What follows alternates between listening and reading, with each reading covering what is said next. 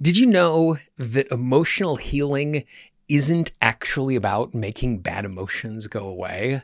And I know that sounds a little bit weird, especially when I'm in a circumstance where I work with clients every single day who are showing up in emotional distress and we are trying to transform that. This week, as we bring a close to our Healing Transformation series, we're actually going to talk about what the true most important goal of transformation is. And it's not just about feeling better. This is Gene Monterastelli, and welcome to the Tapping Q&A podcast recorded live to tape from Williamsburg in Brooklyn. This is episode 587, originally aired November 27th, 2023. Hi, everyone. I hope this finds you well wherever you are and whatever time of day you're getting a chance to join me. Thanks for spending a little time with me today. Today, we're continuing our healing fundamental series, and we're going to be talking about what the actual goal of transformation is and I think you're going to find it a little bit surprising, but once you understand this particular insight, it is going to transform every single time you sit down to tap, every single time you sit down to do transformation, regardless of the tool that you use. Now, as we step into this, I'm going to be talking about tapping. Tapping is the tool set that I use. It's not the best tool, it's not the only tool, but it is super, super powerful, and I use it every single day. If you are new to tapping, all you need to do is follow that little red arrow in the upper right hand corner, click on the link. It will take you to learntotap.com, where I'll share the basics with you so you can start tapping every single day in simple, straightforward ways. My life is so much better because I was introduced to tapping. My life has been transformed. My health has been transformed. My mental well being has transformed. It has led me to work with clients from all over the world and some of my dearest friends have come from the tapping community. And in the last 17 or 18 years that it's been a part of my life, it has transformed it. And I honestly couldn't imagine my life without it. My original introduction to tapping came from Gary Craig. Gary Craig created the first single algorithm version that was mass consumed. And he called it emotional freedom technique. I will forever be in debt to Gary and his willingness to share this tool set with the world in such an open way. But even with that being said, I've always struggled with the name emotional freedom technique.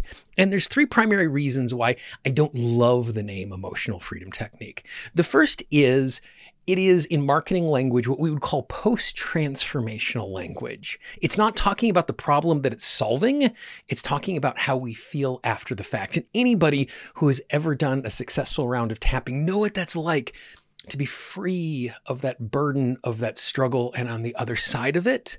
But it's hard to explain to someone before they've experienced that. Number two, I think the name emotional freedom technique makes a lot of sense and is very appealing to some people but I don't think it's actually appealing to everyone. Um, for two and a half years, when I lived in Baltimore, Maryland, I actually taught an anger management class in a county jail.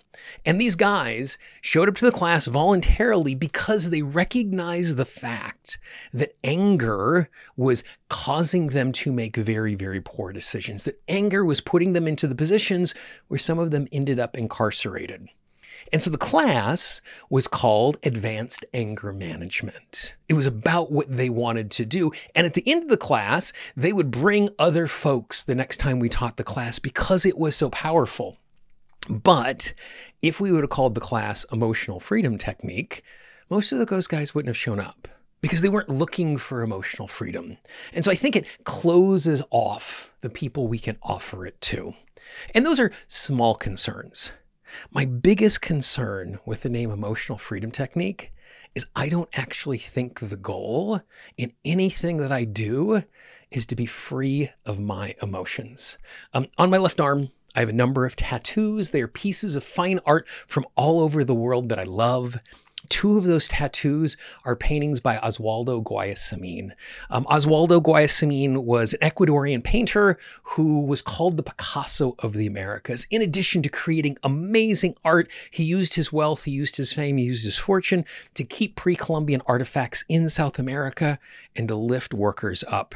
And a number of years ago, I got a chance to study Spanish in Ecuador.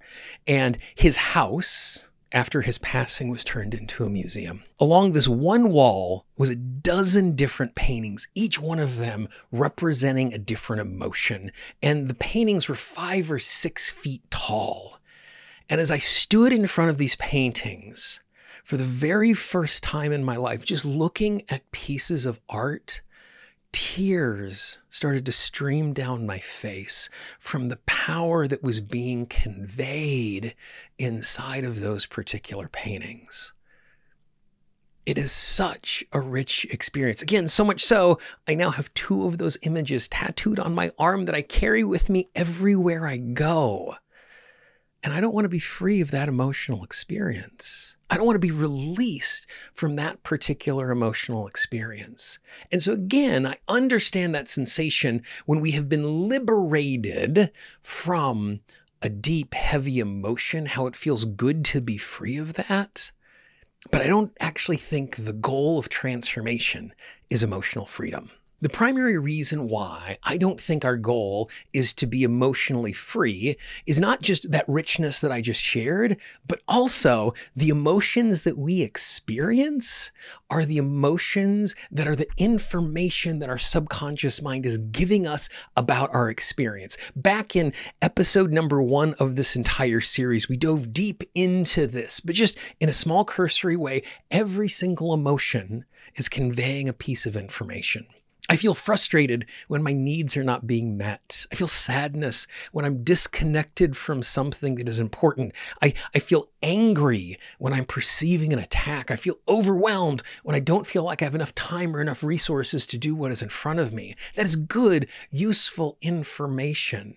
One of my favorite things to tap on when I'm working with a client who's in grief and sadness is a reframe of the reason why I'm feeling this grief and this sadness is because the thing that I've lost is so important. And how lucky am I to have experienced something that I'm able to feel grief and sadness from?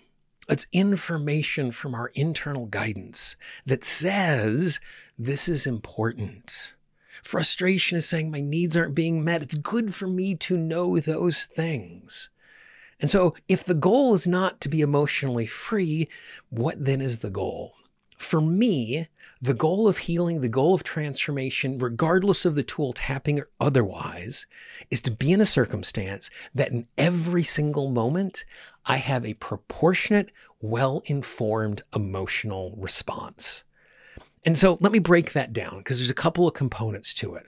There's proportionate, and there is well informed emotional response. Because again, the information that we are getting is trying to give us information. And so the example that I love to use is just an experience of fear. So as I sit here in my apartment, I'm about eight and a half miles from Central Park. And in the Central Park Zoo, there are lions.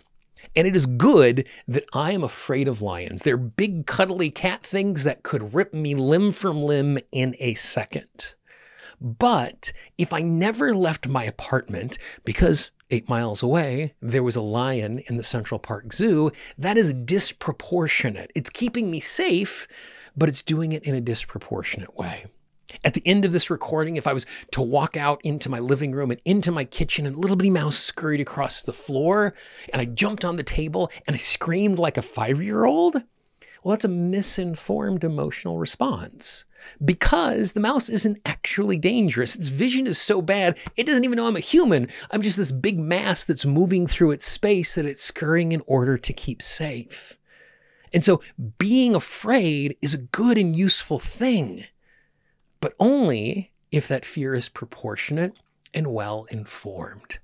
And so that's what I mean by the goal of tapping and transformation is not to be free of our emotions, but to have a proportionate, well informed emotional response. And when we start to look at it through that lens, it puts us into a position where we are recalibrating our experience. We're recalibrating, most importantly, our expectations. Because if I sit down to tap or to do anything else, and my goal is to be emotionally free, that's not going to happen. As a human, the only way that I can be emotionally free is if they did something where like snipping things inside of my brain, or if I'm so medically sedated I'm not experiencing anything at all. But if my goal is to have a proportionate, well informed emotional response, then what is happening is I am hearing very, very clearly the information that my internal guidance is trying to provide me. I hear very, very clearly how I am understanding the world. And so when I sit down to tap on my fear of tigers, I'm not going to tap so I climb into the cage and I curl up to try and get a little cuddle with the fuzzy thing, because that's dangerous. But with each successive round of tapping, what I'm able to do is I'm able to take the belief, because there is belief behind every single emotional experience. And what I'm doing is I'm transforming on a subconscious level what that belief is so I see the world more clearly. Because when I see the world more clearly, I have a clear, honest, proportionate, well informed emotional response, which makes it so much easier for me to live an authentic life that I want. You know, if I'm in a circumstance where I am afraid to speak up at work, and I'm not putting my ideas forward because I'm afraid of judgment. I'm afraid that I'm going to get in trouble, which in most work environments is not a proportionate response. It's not a well informed response because my colleagues want to hear from me so we can move forward. The moment I put myself and I make that a proportionate, well informed response, that I can speak up and I can share my ideas freely, all of a sudden my life gets better because I'm now a contributing member to the team. I'm now in a circumstance where I'm helping us to move towards our goal. I'm now in a circumstance where people on my team recognize my competency, which gives me more opportunities, which gives me the opportunity to move forward in a way that is good and useful for me. So, as part of this Healing Fundamentals series, the fundamental that is so important, and I really think, even though this is the last in the series, I think it's the one that underlines everything else that we do every single time I sit down to do transformation. I'm trying to see how I understand the world through my emotions. I'm trying to uncover the story that is underneath it and transform that story to be true so I have a proportionate, well informed emotional response. And so, if you make that the goal of your transformation, one, not only is it going to be easier to transform because it's something achievable, but two, it's going to help you to create an authentic life that you truly love because you're showing up in a way where you're hearing your internal guidance that is giving you the right information. If you've enjoyed this particular piece of information on the screen right now, you'll actually see a link to the playlist to the entire Healing Transformation series. You can go back to number one where we talk even more about the information of emotion, but check the entire series out.